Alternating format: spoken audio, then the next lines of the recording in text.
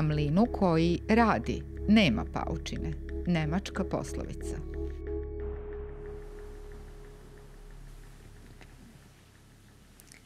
Miloše, Miloše,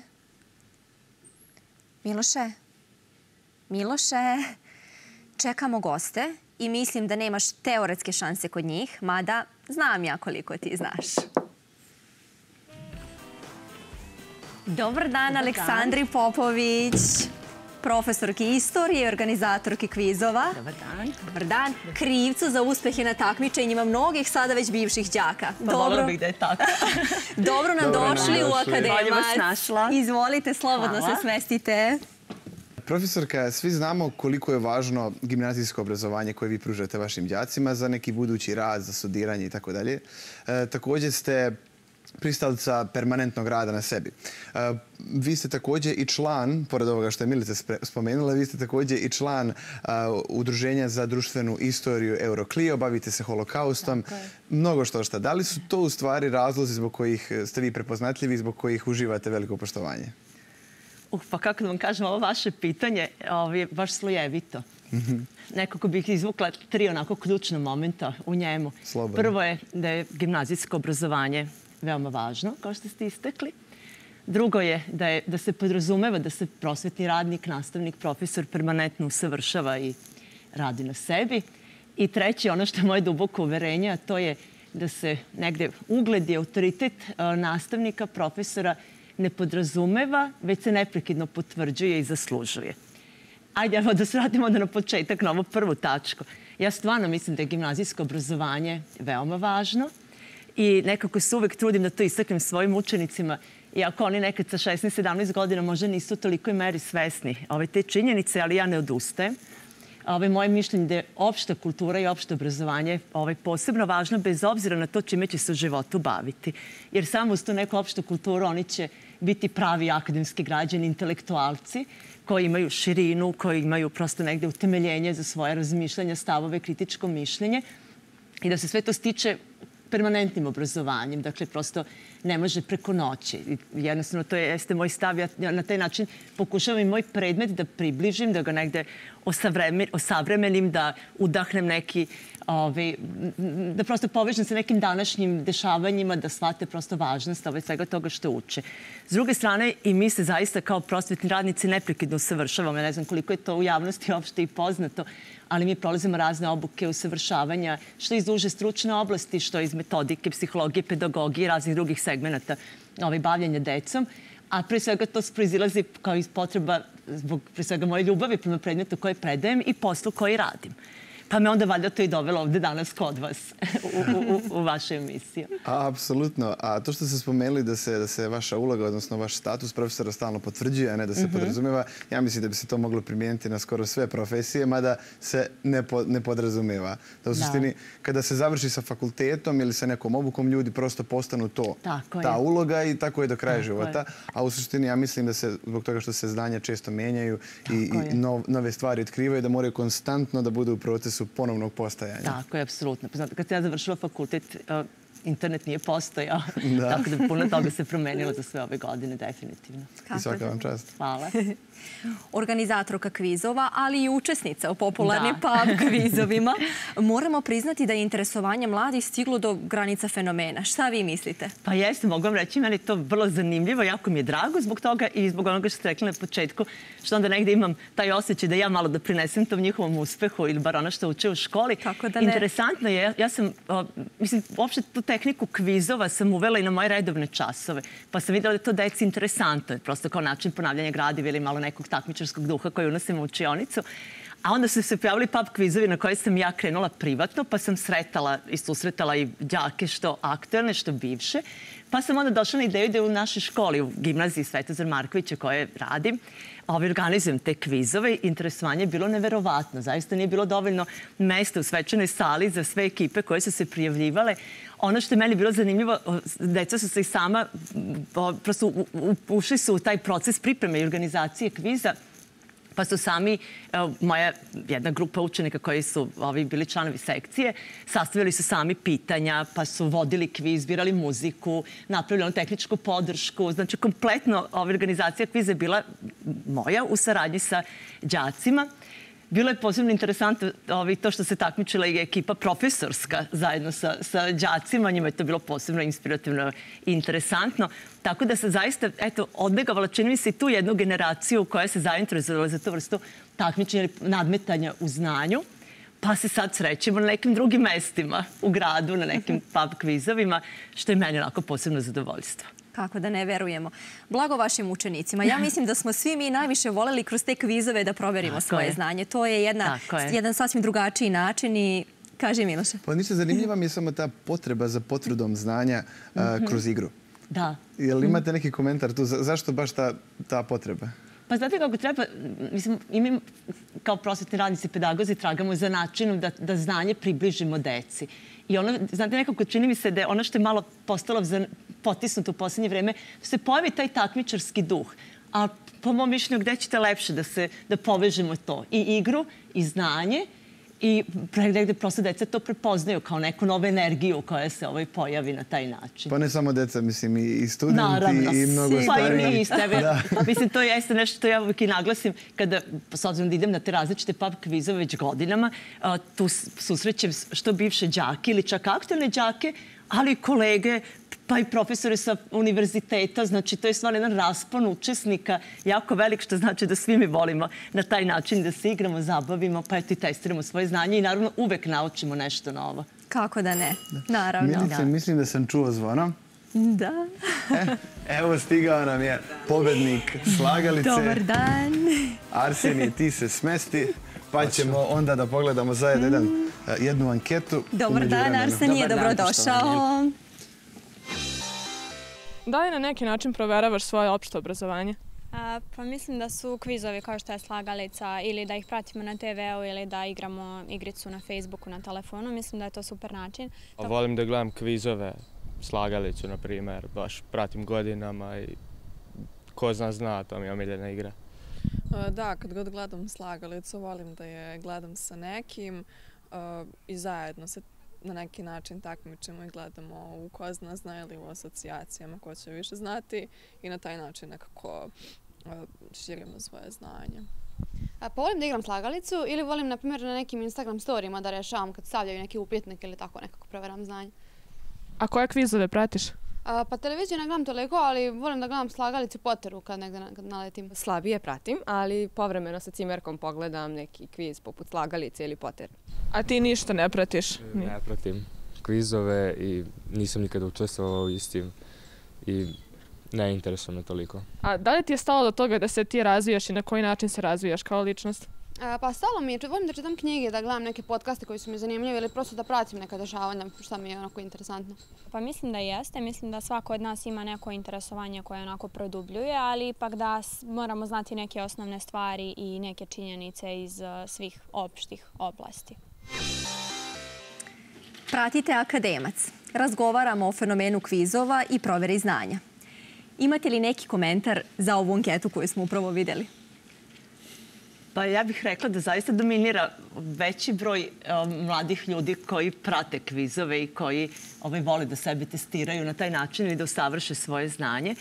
Ovi, i, prosto meni zaista, shvatim da je to najlepša stvar u stvari, da, da, da ljudi shvate koliko je to permanentno obrazovanje važno. Naravno. I naravno da doprinosi popularnosti ovi, i samih učesnika. Ovi, da i sigurno i oni do- doprinose tome. Tako je.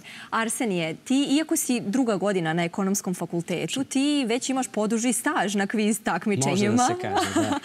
ti si prevazišao više stvari prijavom na takmičenje. Koje i koliko ti znače?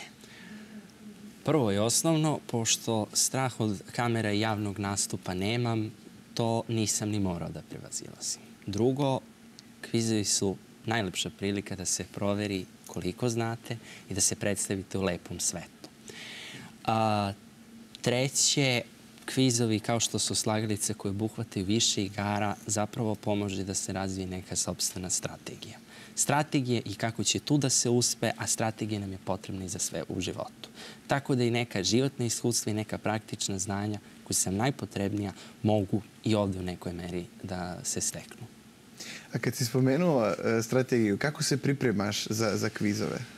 Za kvizove se priprema ceo život i u smislu sakupljanja znanja nema naročite pripreme. Ono što eventualno može da se pripremi je da znate kako da složite najdužu reč, kako da brže odgovorite na pitanje i još neke pojedinosti, ali u pogledu količine informacija to se skuplja ceo život iz najrazličitijih izvora. A da li tu imaš neki sistem? Da li sistematično prikupljaš, priku, mislim, pristupaš prikupljanju znanja ili prosto bukvalno, kako ti dođe? Bukvalno šta, šta, šta, dođe, šta dođe pod ruku, ali da kažem što bolji i bliži izvori to će biti, da kažem, celishodniji. A reci mi kako usklađuješ obaveze na fakultetu sa svim? S obzirom na ovo jako čudno vreme i činjenicu da mi nastavu praktično i nemamo u uživo, nego je samo online, to je onda daleko jednostavnije. Pa to i nije toliki problem. Mm -hmm. Profesorka, da li postoje sada već neka tipska pitanja koja se stalno vrte mm -hmm. i po kom principu vi uopšte pripremate pitanja iz oblasti opšte informisanosti? Pa mislim, sad stvarno postoje već tipska pitanja, složit ćeš se. U stvari ne tipska, nego ono, da, opšte pitanja ili pitanja koje se češće pojavljuju. Mm -hmm. Tako da sad zaista oni koji idu redovno na kvizove ili prate kvizove već mogu da prepoznaju u različitim kvizima isti tip pitanja.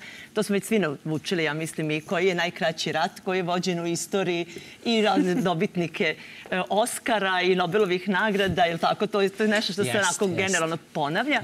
Ove, ali zaista jeste veština postaviti, pogotovo kad se organizuju kvizovi, napraviti dobar odabir pitanja, da to ne bude ni pitanja koje su prelaka, a s druge strane da ne postavite pitanje za koje niko nema odgovor. Ove, ali ono što ja još jedan segment moram da istaknem, ove, a to je da, je da je jako važno pravilno postaviti pitanje. Ne znam koliko si se sa time možda susretao. Ima. Ove, jer tako problem je kada se postavljaju pitanja koje su dvosmislena, koje su nepotpuna, ove, koje negde su potpuno neprecizna i onda unesete zabunu među takmičara i onda uvek bude problema ovi, i, i ovi, po toj liniji.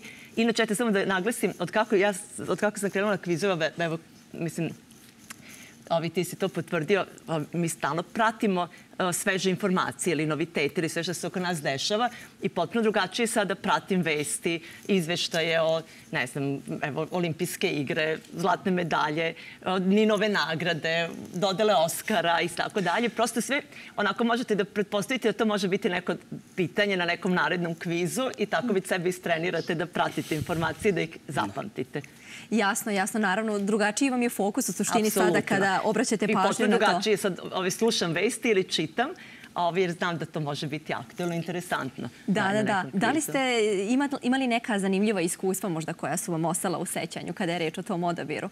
Pa znate kako, pa bilo je da, ajde, ovako, viš, rađe bih navela i primjer u situaciji kad sam ja bila učesnik, jer se tu nađete sad vi u jednoj ravnopravnoj situaciji kao i drugi učesnici kada dođete sa situacije da budete zbunjeni iz sobstvene oblasti. Pritom, naravno, uvek imamo najveću tremu kada je naša oblast u pitanju ja uvek jedva čekam da prođe istorija, da mogu da se opustim i da uživam onda do kraja kviza, jer naravno svi očekuju da ja znam sve iz istorije, naravno da ne znam. I naravno da uvek se izvuče neka informacija ove, koju, do koje nisam stigla. Pa jednom, jednom prilikom bilo pitanje iz istorije kako se naziva period srpske srednjevekovne istorije između 9. i 13. veka. Ja sam se stvarno onako već onako sad preznala od muke, ne mogu da se setim nikakve periodizacije koja bi me uputila na 9. i 13. vek, da bi voditelj kviza rekao, pa, kod, pa srednji vek. Pa ja kažem, pa li srednji vek traje od 5. do 15. Pa kaže, pa dobro, nema veze, šta je ovo smo izvukli malo da bi bilo zanimljivije. Kako, pa ne može da bude zanimljivije, to nije pitne, ni prosto nije tako u nauci. Ove, jednostavno, ja kažem, ima, ima takvih situacija u kojima često, to smo već e, onako i komentarisali, što više znate, to vam je gore. Jer ako mhm. više znate, onda idete previše u dubinu, pa pokušavate da dođete ne znam, nekih odgovora koji su stvari potpuno jednostavni i često dosta površni, ali vi se onda udubljujete previše i, i očekujete ne znam kakve ove zahteve, a to realno nije tako. Da, mnogi kažu da je tako, tako da, da. verujem. Na liniji je Branimir Arsić, pobednik 139. ciklusa Slagalice i takođe pobednik super ciklusa. E, pozdrav, Branimire. E, dobar dan, dobar dan vama i vašim gostima i svima u studiju. Veoma je lepo posle devet godina biti ponovo u akademcu. Prethodni put sam do duše bio u svojstvu studenta, a sama činjenica da su tadašnji gost, profesor Kosta Josifidis i vaša današnja gošća Aleksandra Popović bili moji profesori, govori mi nešto što već znam, a to je da sam imao strašnu privilegiju tokom srednje škole i fakulteta da mi predaju takvi profesori, takve osobe, takvi edukatori. Ja, jako, lijepa, jako lijepa evolucija u suštini. Da, a, da. da, u studiju su Aleksandra Popović i Arsenij Arsić. A za one koji ne znaju, ti si također član a, kviz asocijacije Srbije, odnosno Srpske kviz asocijacije, master ekonomista i kviz master. A, koja, je tvoja, koja je tvoja omiljena oblast i kako se pripremaš za te oblasti ili je to prosto tvoj stil života? Pa jeste, ja sam, eto, skoro sam to ovaj, istakao da se trudim da budem košarkaškim žargonom all-round player, da pokrivam mm -hmm sve oblasti. Naravno imam neke omiljene, to su uh, sport i muzika. Uh, za sport se pripremam jako lako u suštini, dosta, dosta vremena provodim uh, gledajući utakmice iz uh, raznih sportova, čitajući uh, vesti iz te sfere, a muziku nekako prirodno volim, uh, volim da istražujem Uh, razne žanrove, razne periode u istoriji muzice, muzike, da slušam isto neku novu muziku i da na taj način saznajem nove informacije iz te oblasti.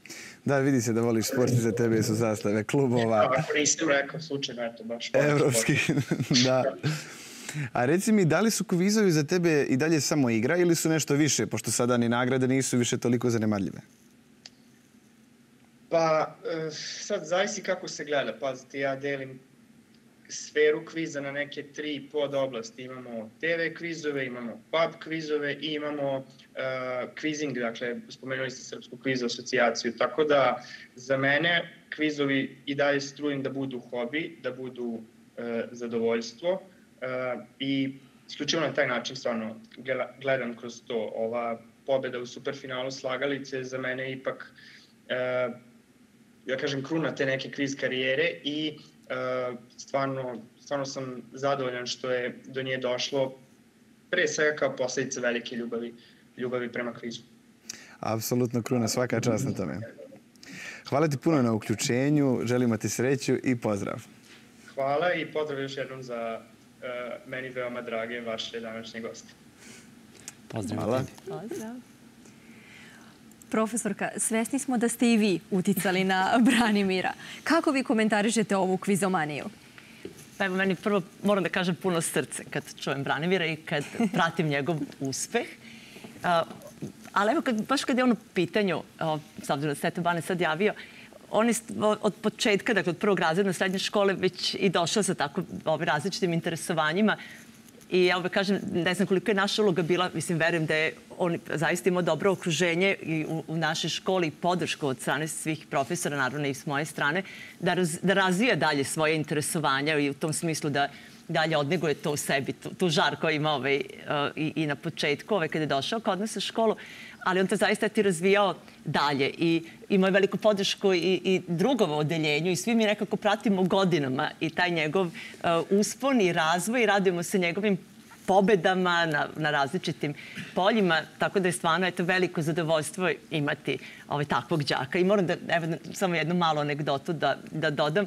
Naravno. Ja sam Banetu i rekla da je negde najviše doprinao porosti popularnosti mog predmeta i moje lično u, u ovoj školi. S obzirom da je jednom prilikom kada je gostovao u Poteri, znao odgovor na jedno pitanje iz istorije koje smo mi radili u trećem razredu srednje škole pa je eto, istakao da mu je razredna bila profesor istorije i to su se oni mali našalili, pa je voditelj pozdravio i razredno i, i Bane isto. I sutradan kad sam došla u školu, znači bila sam pot, potpuno ovako zvezda, svi đaci su gledali, rekli su profesor, kada ste čuli da su vas pozdravili, onda sam videla koliko zaista i đaka prati, ali je meni bila dobra povratna informacija i poruka, eto vidite zašto treba učiti istoriju, između ostalog možete nešto i zaraditi jednoga dana. I zaista jeste taj njegov, njegova nagrada u ovogodišnjoj slagalici meni light motiv da kažem učenicima, eto vidite, neko zaradi svoj prvi milion zahvaljujući znanju koje je stekao na nekim drugim poslovima. To je baš lepo čuti. Da. Da, da. Motiviše. Da. A Arsenije, e, nije baš uobičajeno da se kviz završi sa toliko velikim brojem bodova kao što si ti završio. Reci mi, e, kakve su, kakvi su tvoji izvori informacija? Moji izvori informacija su različiti zavisnosti od oblasti, jer postoje neke koje slabije znam, postoje neke koje bolje znam. Uglavnom, to mogu da budu knjige, a, stranice na internetu, drugari koje znam, razne čak i aplikacije. Dakle, što se više to da kažem, odabere, a opet dobro i probere da to, da, da kažem, da to budu neki kredibilni izvori, onda to i može da bude. A sad, šta će nama ostati u glavi, da li ćemo mi biti spremni da u zadatom trenutku to upotrebimo, to nije stvar vežbe, to je stvar nadarenosti. Kako bi motivisao studente da rade na sebi? Da postignu možda nekad uspehe kao što ti postižeš? Pa recimo, da, da čitaju, da istražuju svet oko sebe, da im fokus bude na znanje, a ne na ocenu. Iako mislim da je još rano o tome da govorim, tipa za 5 do 10 godina ću znati daleko više, pa ću biti više i kompetentan da pričam o tome, ali u suštini e, da se uči za život, da se sve skuplja života radi i s tom uvek nekom mišlju ko zna kada će mi to trebati, to može da bude, kažem, jedna dobra vodilja. Ali opet, kako će ko pristupiti, to zavisi od osobe do osobe. I ovo je neki najopštiji savjet. Kako će ko primeniti, to je lična stvar. Hvala. Nema I ko može bolje od pobednika slagalice da nam kaže koliko je drugačije pratiti slagalicu kod kuće i zaista biti u studiju? Meni nije mnogo drugačije, pošto nemam strah od kamera i u suštini ekipa koja realizuje slagalicu je zaista vrlo neposredna i, da kažem, hoće da učini da se osjećate kao kod svoje kuće. I dakle, zaista, ja kada sam seo na svoje mesto, eh, kada sam izvadio olovku i krenuo da zapisujem prva slova, ja sam se osjetio potpuno normalno. Jedino s činjenicom da će imati auditorijum, doduše nisam mislio ovoliki auditorijum, pričam sad naročito nakon ovakvog ishoda ciklusa, da će to neko da gleda i da ću eto ja se potruditi da pokažem najbolje od sebe. Što se na kraju i dogodilo. Spomenuo si olovku i pisanje. Da li u toku emisije imaš neku strategiju? Zašto ti služi olovka osim zapisivanja nekih osnovnih stvari? Pa olovka mi služi generalno da zapišem tok, znači za slova, za brojeve, generalno rezultat ovaj, po igrama iako, da kažem, je možda samo u prve dve igre ona zaista, ona zaista i presudna. -hmm. Češće ono što gledalci vide jeste miš i ta strategija kako ćete da se, kako ćete da se javite. Sad, nekom to deluje smešno kad onako mi takmičari zalignemo na miš i pokušavamo da se javimo i ne uspemo, ali dobro, to je... Ali deset pojena, deset pojena. Ali deset pojena, tačno. Ali to je opet, ali to opet, to recimo već jeste stvar vežbe i stvarno ono se izvežbate da, da, da, brzo, da brzo pritiskate i levi i desni taster da kad se prestane sa čitanjem pitanja da budete prvi registrovani. Da li vežbaš kod kuće? Da. da, ali to nije problem za moju generaciju, jer mi smo generacija koja je odrasla uz te a, arkadne igrice i to sve i mi generalno znamo, znači, pogotovo oni koji su igrali tu pucačini, to sve znaju kako treba to brzo da se pritiska i tako još nešto. Imate u rukama. Ima, ima. Dobro, mada ja generalno i miši to saturu znam dosta onako brzo da koristim. I ispravno. Super, svaka čast. E, pa Verujem da mnoge zanima, ali moram priznati i mene, koja ti je omiljena igra u slagalici? Ko zna, zna. Ko zna, zna. zato što zna. Pa ko zna, pa, ko zna, zna, zato što je to baš dakle, klasična pitanja. Ovo, da, da. ovo uključuje neku strategiju. Znači, slagalica i moj broj skočko se izvežbaju. Korak po korak stvar sreće. Spojnice su baš stvar sreće. Zavisi od toga šta doće. Znači, meni je prosto bilo nevjerovatno kako su meni došle oblasti koje, ove, koje sam ja znao. Znači, istorija, geografija, književnost, četiri puta. Moja razreda koju pozdravljam ovom prilikom, koja je predavala srpski, ona je stvarno bila prijatno iznenađena što su se uopšte te oblasti pojavili i što sam ja tu uspeo da spojim. Asocijacija je naravno stvar sreće. Znači, bila je nekako i stvar sreće što se meni pogodilo da sam uspeo tako brzo da rešam. Jedino za ko zna zna i zaista potrebno znanje i naravno brzina. Ti definitivno dosta toga znaš i svaka čast na tome. Eta, hvala. Na kraju, možda je ovo lepa prilika da se mladi pohvale i motivišu. Tako je. Može biti. Evo za one lude, ekscentrike, buntovnike, problematične, za oni koji vide stvari drugačije. Oni ne vole pravila i nemaju poštovanja za status quo. Možeš ih citirati, protivrečiti veličati ih ili omalovažavati. Jedino ih ne možeš ignorisati. Zato što oni menjaju stvari. Oni guraju ljudsku rasu napred. I dok ih neki mogu vidjeti kao lude, mi vidimo genije. Zato što su ljudi koji su dovoljno ludi da misle da mogu menjati svet, oni koji to zaista i rade. Steve Jobs. Hvala vam na učešću. Vidimo se sljedeće subote ponovo. Pozdrav! Pozdrav!